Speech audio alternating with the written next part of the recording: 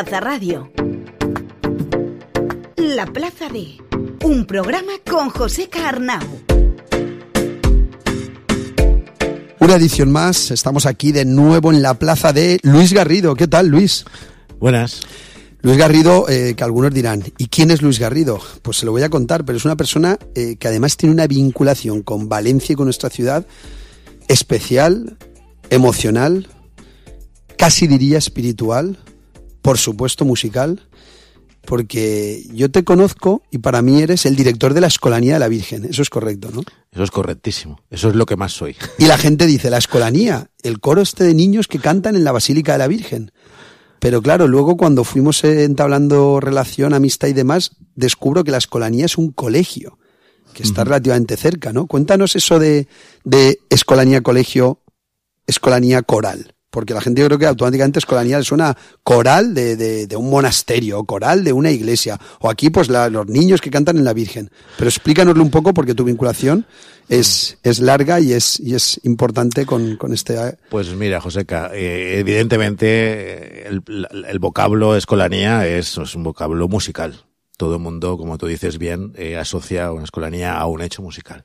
Lo que pasa es que las escolanías son un, un reducto de muchos siglos. ¿eh? Estamos hablando de, de, perfeccionar aquello que se hacía en los siglos XV, XVI y XVII, ¿no? De que unos niños cantaban en, hacían el servicio cultural, litúrgico en una parroquia, en una catedral, en una iglesia, en una basílica, y tenían además de cantar, pues una formación, porque había un señor que, que, que se llamaba maestro de capilla, que era una persona muy importante en el organigrama de, de una catedral, de una basílica, de un monasterio, y ese señor se encargaba de precisamente de no solamente enseñar música, sino también enseñar todo otras artes y sobre todo enseñar conocimientos básicos a los niños, ¿no? Lo que se llamaba el quadrivium, ¿no? Que formaba pues no solamente las matemáticas, en todo lo que era relacionado con aquello que se podían formar.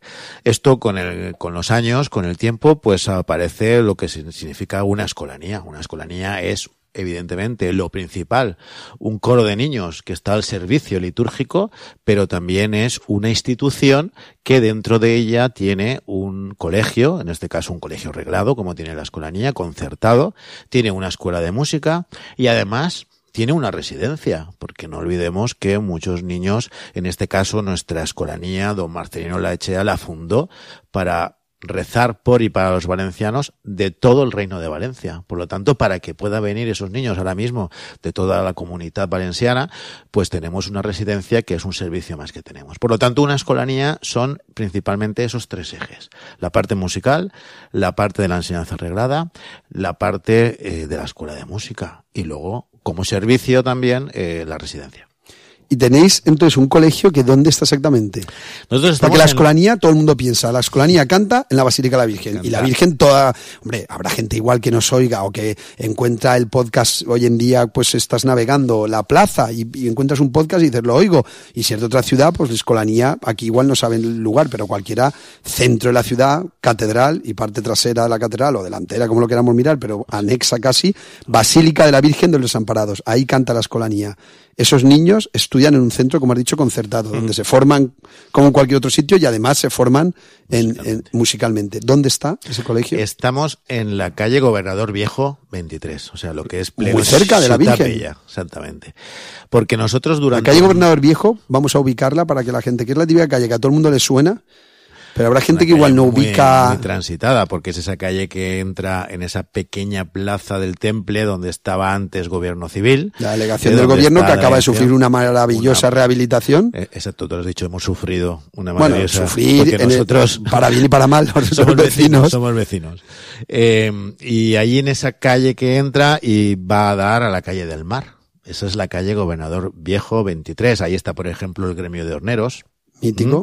Y en la esquina de la calle de Gobernador Viejo con Condemont Tornés está el, el, Colegio Oficial de Farmacéuticos. Efectivamente. ¿vale? Y luego ya, eh, pues de Todo está muy cerquita, un lugar que toda la, toda la, gente que nos escuche de la ciudad le suena muy popular, lo que llamamos la Plaza de los Patos. Esa plaza donde está, que hace hay un cruce entre Trinquete Caballeros y Calle del Mar. está la iglesia de Santo Tomás y San Vicente. ¿eh? En esa plaza, pues ahí desemboca esta calle, que es una calle que te digo tiene mucha vida porque es uno de los accesos hacia Ciudad Bella. Efectivamente. O sea que ahí está el colegio, la escolanía y luego la coral se traslada cuando actúa a la Plaza de la Virgen. Vinculación tuya con la escolanía porque eh, me, me, he dejado patidifuso, que tenga la escolanía, quién la funda, cuántos años tiene y tú llevas más de media vida de la escolanía vinculado a ella porque ya fuiste alumno. Yo pensaba, igual es que conocías, eres una persona experta en los artes de la música, etcétera, y dicen, bueno, pues hacen una prueba y uno trabaja y encuentra allí un trabajo y, y, es profesor, es el director y ya está. Pero eh, ya fuiste alumno de pequeño.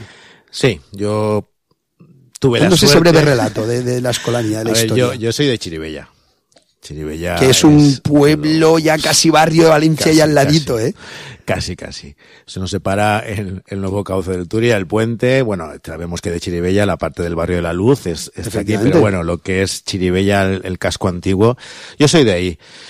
Eh, la verdad que mi historia, pues es la historia de un niño que, que, que tiene una vida normal. Sus padres, en mi caso de mis padres, mis padres pues siempre han regentado cuestiones de hostelería. Mi padre tenía en ese momento, llevaba el, el casino, el musical del pueblo. Yo he empezado a tomar mis primeras De lecciones. Chiribella. allí, De El Chiribella. casino de Chiribella. Había tomado allí mis primeras lecciones de, en la banda de música, porque claro, estaba Como en tantos, día. como casi todos los municipios, bandas, tradición musical. Y bueno, pues un buen día, pues un señor eh, con su sotana negra y con unos artilugios apareció en el colegio. Entonces iba al colegio Jesús Posada Cacho, porque conocía a la directora.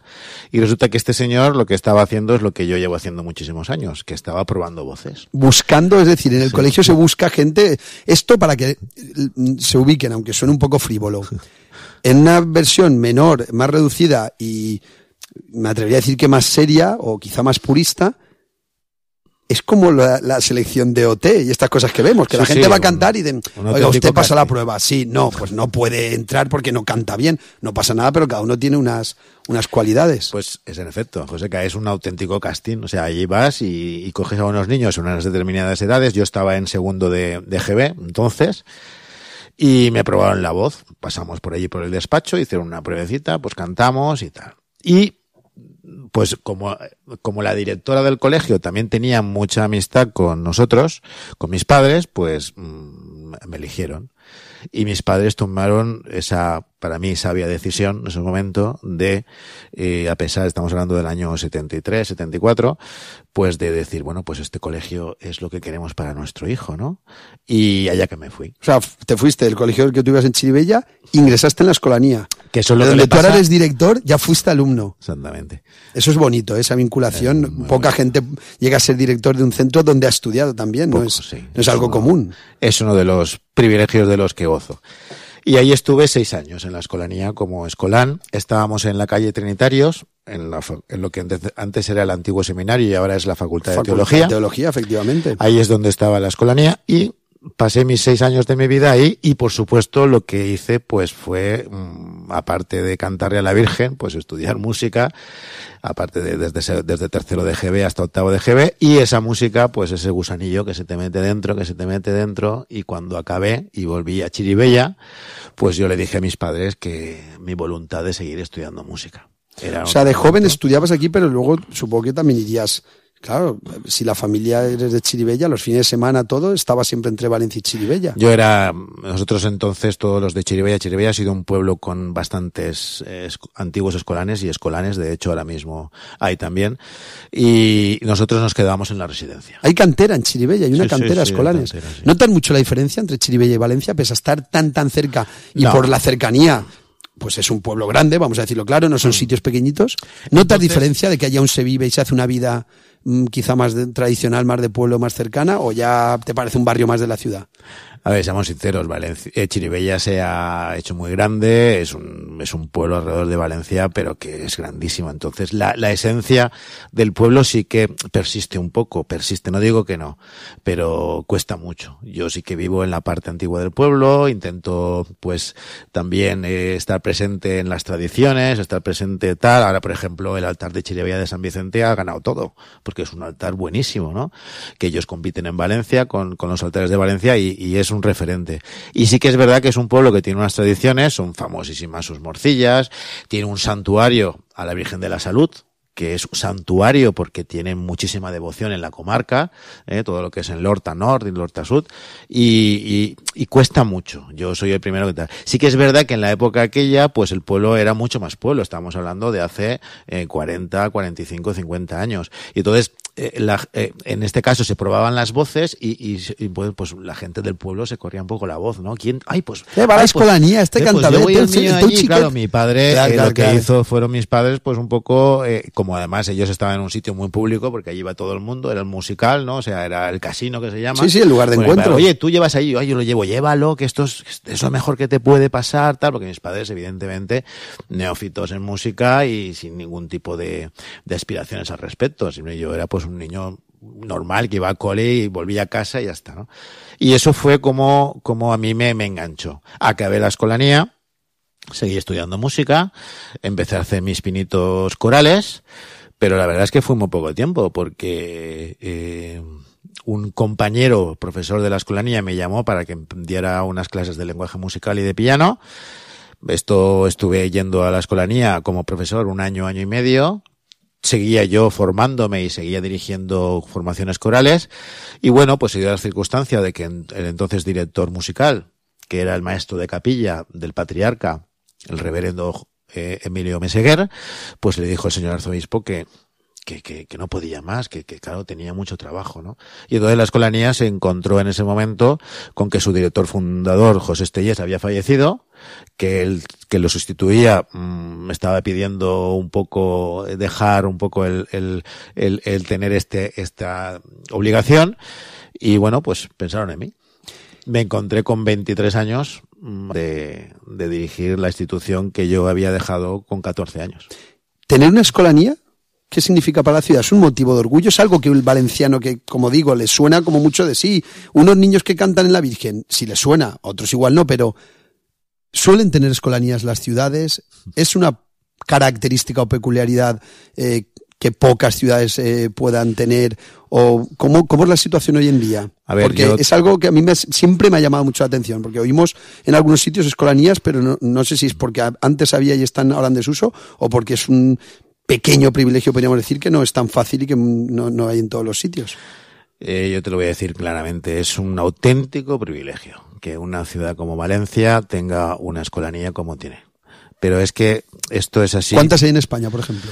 Pues es que como las nuestras hay muy pocas. Porque mira, nosotros, aparte cuando te he descrito un poco nuestra escolanía, ha faltado una cosa que es un hecho diferenciador que para bien o para mal, ¿eh? O sea, es a veces las cosas que diferencian claro, claro, claro. son las que, que crean polémica y son las que tal. Es que la escolanía solo la forman niños, chicos. Entonces, y de ciertas edades, ¿no? Sí, entre 8 y 14 años. Entre 8 y 14, más no, porque además es la edad en que cambia la voz. Bueno, eh, suele ser una edad de pubertad, voz, adolescencia, sí. que hay mucho problema, ¿no? El, la muda de la voz es algo fisiológico que cada niño, pues, eh, conforme su desarrollo, pues va a tener, ¿no? Pero sí que es de verdad que hay que marcar unas edades, pues ya en tema de organización, ¿no? En tema de, de lo que es una institución, ¿no? No podemos estar ahí bailando. Te digo que es un de privilegio porque, primero, por las poquitas que hay. Y luego porque las que hay, fíjate qué calado tenemos. O sea, ¿qué estamos hablando? Estamos hablando de la colonia de Montserrat, que está datando ¿Sí? del siglo XIV. Qué eh, los infantillos del Pilar, famosos pues estos niños que pasan a la Virgen por el manto la Pilarica, pues también estamos hablando aproximadamente del siglo XV. Estamos hablando de la escolanía del monasterio del Escorial, ¿eh? cuando Felipe II crea aquel, aquel magno monasterio, aquel, aquel edificio, el, el, pues también crea una escolanía eh, al servicio de, de, de, los dominicos que hay allí, ¿no? Entonces, al final... Eh, en lugares muy emblemáticos y muy antiguas. ¿eh? La escolanía de Covadonga, la escolanía de Covadonga, eh, del Principado de Asturias, que también es una escolanía centenaria. Y sí, luego y tenemos lugares referentes, ¿eh? Exactamente. Sí, y sí. luego tenemos escolanías más modernas, que son las dos que se fundan en el mismo año, ¿eh? casualmente, que son la escolanía del Valle de los Caídos, que está muy ahora en el tema en boga por lo que sabemos. Pero que hay también eh, una escolanía allí que se funda en el año cantores. 58 porque allí en, en, el Valle de los Caídos se instala una comunidad de benedictinos y evidentemente los benedictinos pues el tema de la música lo cuidan mucho. Y la escolanía de Valencia que se funda también en el año 58. Justo un año después de la riada. Sí, bueno, la escolanía. ¿Tiene relación? ¿no? Tiene relación. Es que la escolanía. ¿Y la funda? Iba... ¿Quién la funda? La el obispo Marcelino Laechea.